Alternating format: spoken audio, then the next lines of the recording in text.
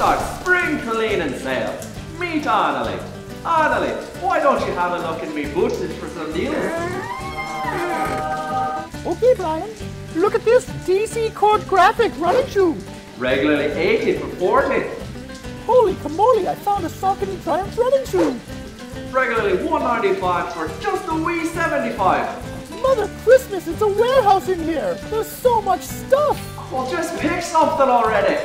Here's a Bauer Supreme S170 Junior Hockey Skate. Regularly 330 for just 95. So come on down this Saturday for up to 75% off clothing, footwear, hockey, lacrosse, and soap.